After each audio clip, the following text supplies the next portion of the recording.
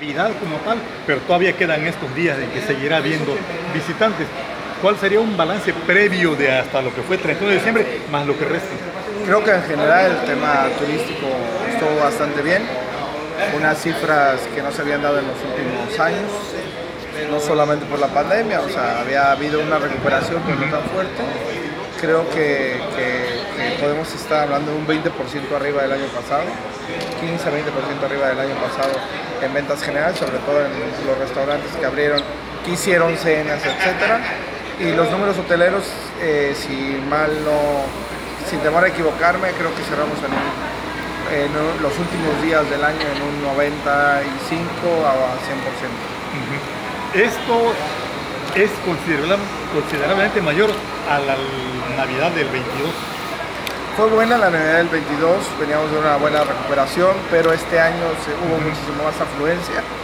Eh, varios factores, creemos que el alza de los este, del salario ha generado que, destinos que, somos accesibles como Veracruz hayan generado más movimiento y aunado a eso también pues la desgracia de Acapulco pues beneficia a este destino esperando que Acapulco se levante pronto también.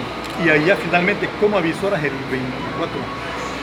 Pues bueno, como todos los años eh, queremos que sea de la mejor manera posible, es un año de campaña suele regarse bastante recursos en año de campaña y haber más movimiento. Este, pero pues este, yo deslumbro mejor que este 23. Eh, la parte económica en sí, ¿cómo la mediríamos? Bueno, ¿cómo la estimaríamos en el, caso de los restaurantes, por ejemplo?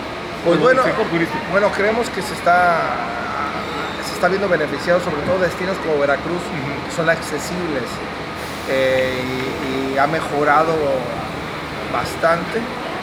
Eh, bueno, subimos de ser la economía número 17 a la, 12.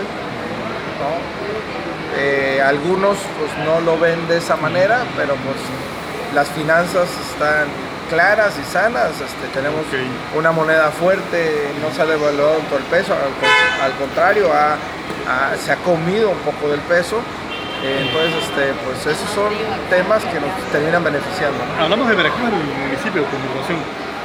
Bueno, Veracruz es un buen destino turístico, ha mejorado, se está trabajando para generar mejores condiciones. Viene una obra importante en el centro histórico que yo creo que va a generar más turismo eh, y, este, y sigamos haciendo lo que estamos haciendo para que mejoren las condiciones. Okay. Feliz año.